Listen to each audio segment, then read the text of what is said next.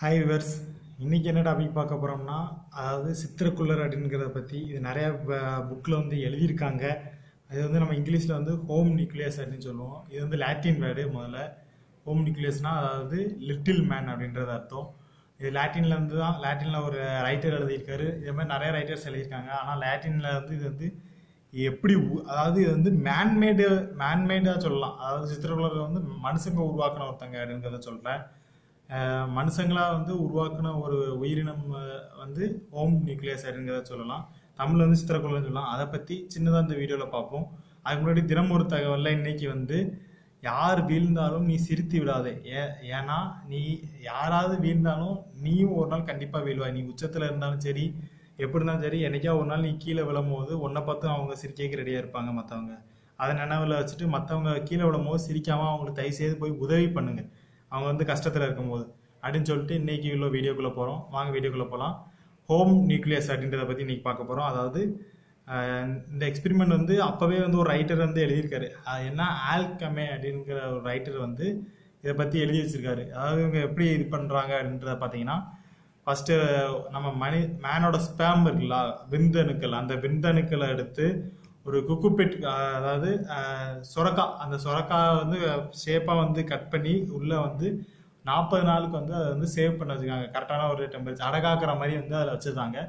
அதுக்கப்புறம் அந்த ஒரு ஸ்டேஜுக்கு வந்துடும் அந்த ஸ்டேஜ் ஒரு எக் ஸ்டேஜ் மாதிரி. அதுக்கப்புறம் அதை வந்து எதுக்குள்ளே வச்சுக்க அடகாக்காங்க அதை வந்து அதுக்குண்டான ஃபுட்டு எல்லாம் எல்லாம் எதுக்குள்ளேருந்து போகுது அப்படின்னா ஒரு ஹார்ஸ் ஹார்ஸ் ஊம் அதாவது ஹார்ஸோட கர்ப்பப்பை. ஊம்னு சொல்லுவோம். அந்த க- அஹ் வச்சு இதை வந்து பாதுகாக்காங்க. அதாவது கொஞ்ச நாளுக்கு வந்து உள்ளே வந்து நம்ம வந்து அஹ் வச்சு வந்து பாதுகாக்கும். இது வந்து அதில் உள்ள எனர்ஜி எல்லாமே அந்த ஹார்ஸ்லேருந்தே எடுத்துக்கிறது. இது வந்து எவ்வளோ இது வந்து நாளடைவில் வந்து கொஞ்ச நாள் கழித்து இந்த பத்து மா மாத காலத்துக்கு அப்புறம் வந்து அதை வெளியில் எடுத்து பார்க்காங்க. வெளியில் எடுத்து பார்க்கணும்னா வந்து மனுஷனாக தான் இருக்கான். ஆனால் அவன் அது வந்து ஒரு சின்ன எக்ஸ்பெரிமெண்ட் என்ன எக்ஸ்பெரிமெண்ட்னே தெரியாமல் பண்ணியிருக்காங்க இது வந்து. இப்படி ஒரு எக்ஸ்பெரிமெண்ட்டுன்னு எடுத்து பார்க்கும்போது குட்டியாக வந்து ஒரு மனுஷன் வந்து பிறந்திருக்கான். மனுஷன் வந்து அதுலேருந்து உருவாயிருக்கான் அப்படின்றத வந்து கண்டுபிடிக்காங்க. இந்த எக்ஸ்பெரிமெண்ட் பண்ண ஆட்கள் வந்து. இந்த இது வந்து இதே மாதிரி இந்த இதில் உள்ளது மட்டும் இல்லை நிறைய கிரீக்லயும் இது வந்து எழுதியிருக்காங்க லிட்டில் மேனை பற்றி அதுக்கப்புறம் இது வந்து நம்ம முக்கியமாக சொல்லலாம் இது வந்து சிஓசி கூட வந்து இதில் சம்மந்தப்பட்டிருக்கு அப்படின்னு சொல்லலாம். ஆமாங்க நம்ம விளாடுற கிளாஸ் ஆஃப் கிளான்ஸ்ல கூட ஒரு சித்திர குலன் வந்து இருக்கு அப்படின்றத வந்து சொல்லிக்கிறேன். அது எப்படின்னு கேட்டிங்கன்னா அதாவது உங்களுக்கே தெரியும். நிறையா ஜெயிண்ட் அதுன்னு பார்த்துருப்பீங்க ஜெயிண்ட் பார்த்துருப்பீங்க பார்பேரியன் பார்த்துருப்பீங்க. அந்தந்த பேர் தான் அதுக்கு வச்சிருக்காங்க. ஜெயிண்ட்னா பெருசாக இருக்கும். அதே மாதிரி பெரிய கை இருக்கும். அதனால அப்படி வச்சிருக்காங்க. அது மாதிரி ஆர்ச்சர்னா என்னது? ஆர்ச்சர் அம்பு விடுறவங்களா ஆர்ச்சர்னு சொல்லி வச்சிருக்காங்க.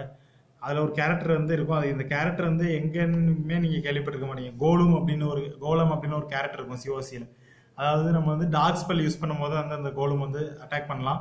அந்த கோலம் வந்து பார்த்தீங்கன்னா சின்ன சைஸில் இருக்கும். ஆனால் வந்து அது வந்து நல்ல பவர் வந்து மற்ற டிஃபென்ஸ் எல்லாத்தையும் உடைக்கும் சிஓசியில் இந்த கோலம்ங்கிற கேரக்டர் வந்து நீ அவங்க எங்கேருந்து எடுத்தாங்கன்னு பார்த்தீங்கன்னா இதே மாதிரி அதே அதே டிசைன் தான். அந்த அதே சைஸ்ல வந்து கோலம்ங்கிற கேரக்டரை வந்து ஒரு சித்திரக்குழுங்க அதாவது ஒரு உயிரினம் இருந்திருக்கு மனிதர்களால் உருவாக்கப்பட்டது. இது வந்து க்ரீக்கில் வந்து நம்பியிருக்காங்க. எப்படின்னா ஏடி ஆஃப்டர் கிறிஸ்டுக்கு அப்புறம் தான் வந்து இது வந்து இருந்திருக்கு அப்படின்றதுல வந்து நிறையா எழுத்தாளர்கள் வந்து எழுதியிருக்காங்க. அப்போ உள்ள சுச்சுவேஷன்ஸை வச்சு இந்த கோலுங்கிற மாதிரி நிறைய கேரக்டர் வந்து மித்தாலஜி டாப்பிக்காகவும் வந்து அந்த வந்து பேசியிருக்காங்க.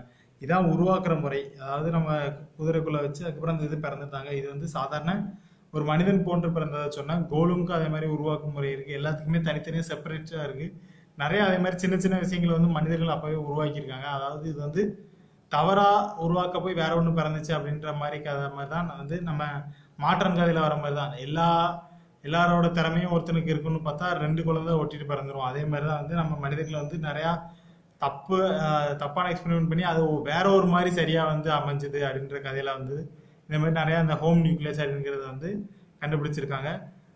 ஓகே வியூவர்ஸ் இந்த விஷயத்தை பற்றி தான் இந்த வீடியோவில் பேச நினைச்சா உங்களுக்கு வேறு ஏதாவது வீடியோ வேணும்னா கீழே கமெண்ட்டில் லீவ் பண்ணுங்கள் இந்த வீடியோ பிடிச்சிருந்தா லைக் பண்ணுங்கள் வேறு எதுவும் நான் இந்த வீடியோவில் தப்பாக சொல்லியிருந்தேன் அப்படின்னா மிஸ்டேக் இருந்ததுன்னா நீங்கள் வந்து கீழே கமெண்ட் பண்ண கமெண்ட் பண்ணுங்கள் இல்லாட்டி உங்களுக்கு தெரிஞ்ச விஷயம் அந்த ஹோம் நியூக்ளியஸை பற்றி எவ்வளோனாலும் கமெண்ட்டில் லீவ் பண்ணுங்கள் இதை பற்றி கேள்விப்பட்டிருக்கீங்களா? அந்த கோலுங்கிறத பற்றி கேள்விப்பட்டிருக்கீங்களா?